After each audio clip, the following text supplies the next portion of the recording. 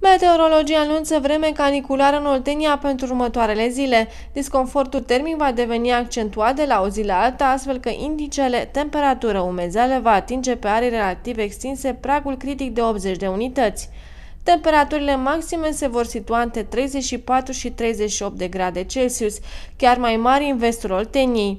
Valorile nocturne vor fi și ridicate și vor atinge 21 de grade. Precipitațiile vor lipsi în acest interval de timp. Vântul va sufla slab și moderat cu unele intensificări în cursul zilei.